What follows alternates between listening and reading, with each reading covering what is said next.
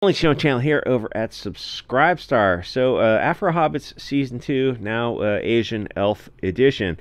Firstly, why is everyone so chubby? They made fun of Samwise for being a, a fat hobbit, but this uh, there's a lot of characters, hobbits, humans, and elves in this who look like they they you're when you when you go out for some Hollywood movie, uh, I'm no lightweight myself. I know that obviously, but if I'm going to go out and do some Hollywood thing, it's going to be like zero carb for a year to drop as much as you possibly can. But there's a lot of people in Rings of Power for some reason who are looking a little soft, which in the continuity of the story, they're physically active. They're running around. They're they're going on these long journeys. Well, you, you're probably eating one meal a day or skipping meals. You know how it is. Like even in Lord of the Rings, they go, you know, we're gonna uh, we're going to tighten our belts on this journey because there's not going to be second breakfast. It's like there, there might there might be several days between meals. It's like that's the reality of of doing what they're doing.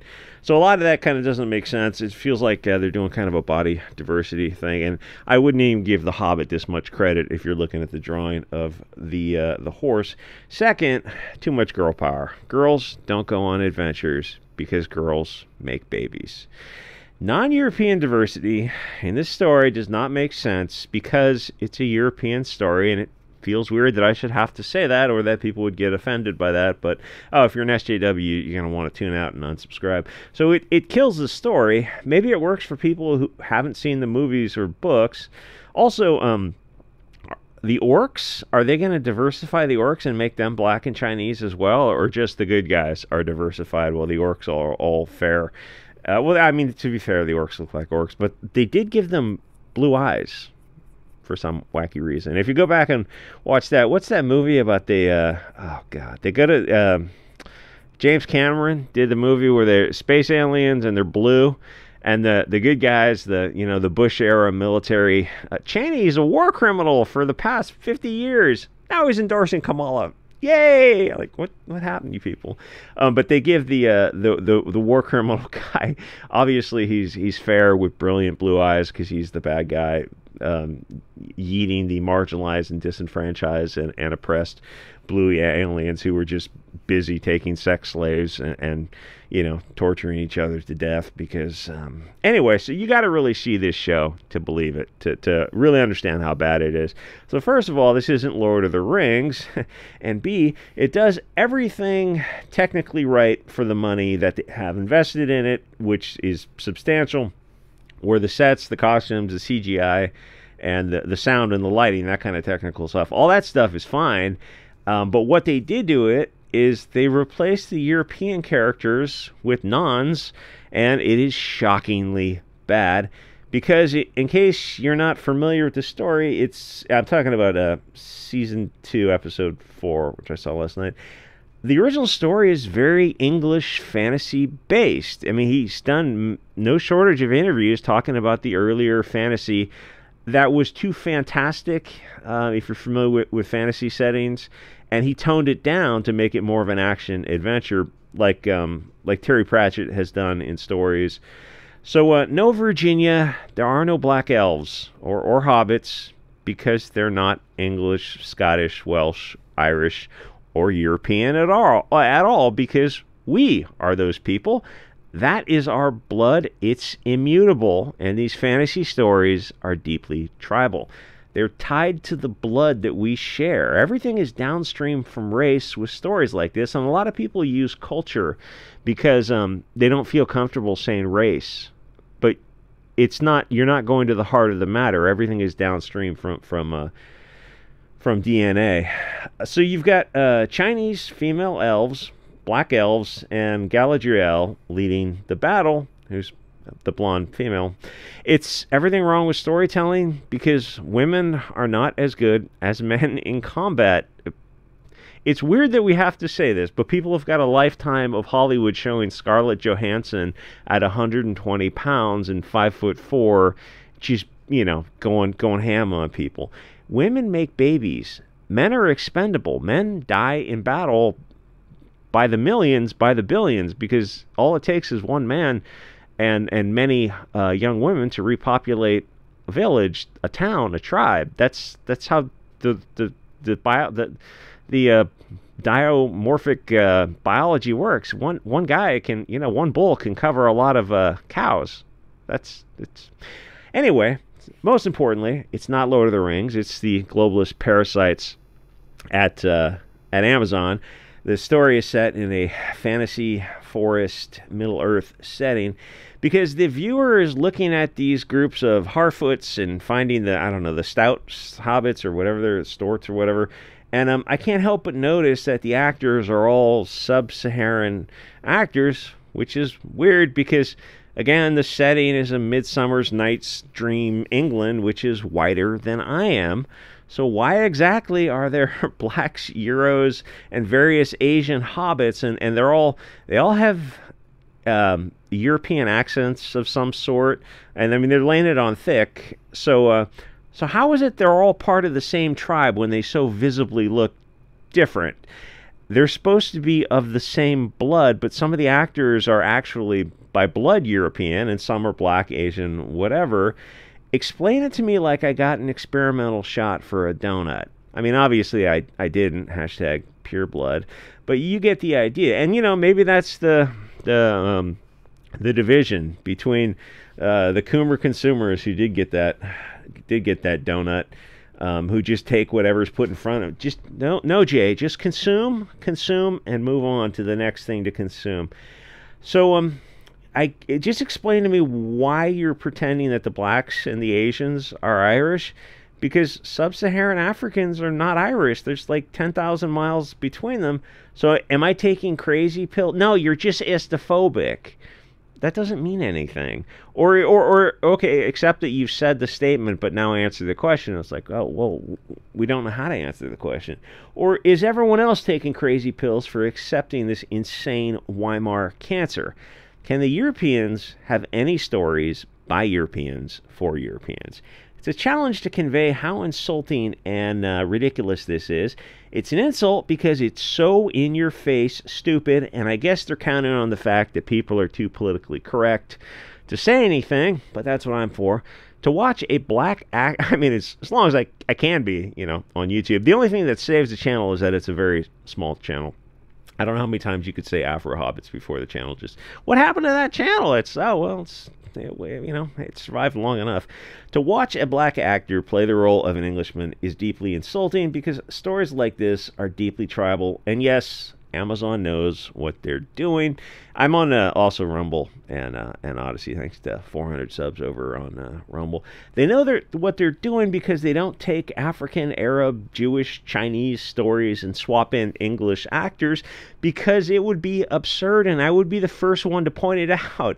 Stop and really think about why a billion dollar globalist anti white corporation are working hard to erase European people. Just like pause on that and start activating the almonds on, on, why they would do that. Why would they do something that would cost them money? And as I keep saying, with whether it's with Dustborn, Concord, Acolyte, Ahsoka, or whatever this is, and, and all the other kind of stuff, is none of this is happening in a vacuum. That's why this stuff is is finally hitting a wall. And who's it? That Jack Black movie? They'll, they'll do a video on that too. Why they're losing their mind over any kind of pushback. Um, because they are. Disney lost nine hundred million dollars last year because they're doing this kind of stuff, and the other companies aren't far far behind them. The um, the thing is, it's this. If it's this obviously it's a globalist anti-white movement that has been going on for way too long, and now the normies outside the culture war are starting to become cognizant of it. And and the thing is, once you see it, you start looking back. You're like, oh, this went. This goes back like to the very beginning of Hollywood. It just gets worse and worse over the decades. And the painfully stupid part about it is not everyone read the books, fair enough, but they saw um, Peter Jackson's uh, movies, which did a great job. To see a non European play the role that is meant for Scandinavians, that is a conscious decision. Oh, maybe I'll use that as the, uh, the thumbnail. That's a conscious decision that Amazon made. And it's why none of these stories work because Tolkien wrote the stories. They were organic in a way that we're probably never going to see again, not in mainstream Hollywood. People talk about, um, you know, alt, the alt community like making things in Hollywood. It's just not going to happen because the buy-in point is so expensive, and it's also the distrib. I mean, okay, no, you can make lower budget films for sure. You can make a movie for under hundred thousand dollars, a Clerks type of movie, but the distribution of it and the financing of it, Hollywood will get in your way uh, every step of the way because what Hollywood does not want is to have uh, a juxtaposition of old-fashioned based storytelling that sells outrageously well, and then they have this kind of you know globalist crap, and then then people are going to look. They're going to take the they're going to take the base you know the actual Viking story with you know actual blonde people in it, and they're going to put this stuff in the dustbin of history, and then people start asking, wait a minute, why are you spending eight hundred million dollars to make you know this wheels of time type of, of cancer or, or rings of power or, or the the witcher or all the other or uh, God, what was it? The um, the movie with the dwarves in it from uh, Val Kilmer back in the 80s Willow? And they did a remake of it but everyone's mixed race kind of kind of thing. It's like oh one, one season. Yeah congratulations. So they don't want you to have an alternative something that you know was like movies 20 30 years ago because it not so much that they're, they're gonna that people are gonna pay for that and they'll lose money. It's that people will start asking questions of, wait, Hollywood doesn't seem like Hollywood. It seems like it seems like there's something else underneath the surface of, of Hollywood. Um, anyway, so I don't know if we'll see uh, see these kind of stories again. So the best Amazon could do would be what Peter Jackson did uh, 25 years ago, would be to follow the books as faithfully as possible. But they didn't because they're globalists who are intent on erasing and replacing European people. And there's only so much suspension of disbelief a viewer can take. Children can take more, adults can take less, but when globalists make their propaganda like this, it is uh, it is way too heavy-handed. You take a love letter to the European people, and you make the black elf the lead character. Then you put females in um, leadership positions and focus on some some chubby girl hobbit. There are no black elves or hobbits because they're not in Tolkien's stories because the British clans and Europeans are fair-skinned people. There's no reason to change the masterpiece. That was Tolkien's original story. Oh yeah, hey, how how well did um Indiana Jones, whatever that last one? Uh, eh. So uh, three out of five movies, you're going to the Germans again? Uh, mangled. Time time traveling Hugo Boss. Uh well, I think he probably lost two three hundred million dollars. So there's no reason to change the masterpiece. Um, Amazon can't create; they can only subvert and corrupt. And women are not usually in leadership positions unless the men are dead. And no, you don't send the female chubby elf to do battle alone so that the men can escape because that's insane. You've got to come to the conclusion that not everything is for all people. By erasing the European people from their unique story, you destroy it. No other race on Earth could create this story because they didn't. Tolkien did. If you want to tell a Chinese or Nigerian story, then by all means go for it. But Amazon is not going to tell some Somali, uh, Somalian um, story back in their uh, their their peak, where they you know got kings and battles and, and, and that kind of thing, and then race swap in Norwegians and Han Chinese, because other races are honored. Only yours is degraded and dehumanized. There's a there is a Tolkien associated with the show, which shows you how far the West has fallen. That he's willing to destroy a legacy for the money. Which, in his defense, they probably paid him like 200 million, 300 million dollars for the rights to just make this show. So, kind of, I mean, hard to take that down. But you also are in a bargaining position of um, of of saying like, well, uh, why don't we Amazon? We're going to deal with the show. Why don't you stick to canon? Would would Amazon have passed on the show if uh, the Tolkien guy who's got the rights, the grandson who's holding the rights, if he had said, "Yeah, let's stick to," can we do it? Can Amazon do a show that sticks to canon, or would Amazon have looked at it and go, "No, we're going to pass on this. We're gonna we're not going to make. We have to we have to make a globalist race swapping um, propaganda." So think about that. The Jackson movies, uh, Peter Jackson movies trilogy was successful, and they, and in interviews, admitted to saying we're just going to try to honor Tolkien's original vision as much as possible. And people like those movies. People from all over the world. Yes, even even Chinese and, and blacks and, and Arabs and whoever liked those movies because they were organic. So if Amazon was told by uh, the grandson's Tolkien that he had to honor the story or he wouldn't sell the rights, Amazon would have, uh, you know, they would have, if they had honored it, they would have had a massively successful show. Instead, they deliberately made globalist propaganda and they knew they were going to lose money on it. They spent $750 million knowing they were going to lose at least half of that and maybe even more of that just so they could dehumanize the European people because they couldn't stand to make a show where white people were honored and cast in a beautiful light that we, of course, deserve. So they, you know, good image there. I'll give you that. So they make a race swap show that's, like I said, the like all the technical stuff is good. The framing, uh, cinematography of the show, it's it's just as soon as you you cast eyes on uh, on um, some black leader of the Hobbits, some black female leader of the Hobbits, and you're like, this is an English medieval fantasy setting. Why? Oh, you're just istophobic again, I, I don't know what that means, but again, why why are they here? It's like inclusion, but people like the original stories, and they don't have an answer to it. It's all they have are ad hominems and deflections.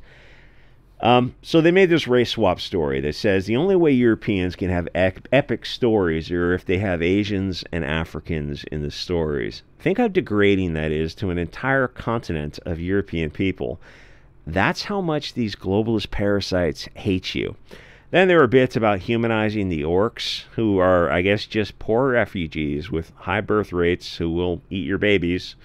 And then the Entwives, the tree characters, because girl power, even if it's it's it's Woody girl power. Thing is, it's also dumb. It hurts, and also the uh, the grave guardians, which hadn't been invented in canon yet.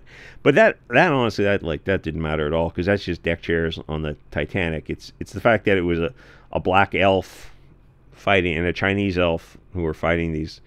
None of that makes sense because the kings, the people, the race of the people, it's deep, deep tribalism, and then you have uh, the that that the the black actor who's playing the elf. Uh, do this interview and talk, and he, he does this interview. He just talks around in circles because he doesn't really have an answer as to why there's there's black elves because there's not it just ruins the story. You're like, but you're not of the people. You're not of the tribe. What people don't put their lives on the line for commercials on. You see where America is now and where Europe is rapidly headed. Uh, countries used to be Natal's nation of the blood, and it's now like America. Um, there's nothing. There's what? What exactly are you fighting for? Like Costco World going to war against Bank of America? None of it makes sense. You're not the you're not the people when it's just an economic zone controlled by by NGOs, and uh, it, it's no, there's no what is it, civic nationalism? No, that doesn't exist. It's like w- when you have that theory, you just end up with rings of power or or America, and it's like ah, looks like shit. Yeah, it's because it is. Anyway, uh, like, comment, subscribe. I'll see you guys. Well, I'll see you guys all on Odysee and Rumble when the uh, the YouTube eventually runs out.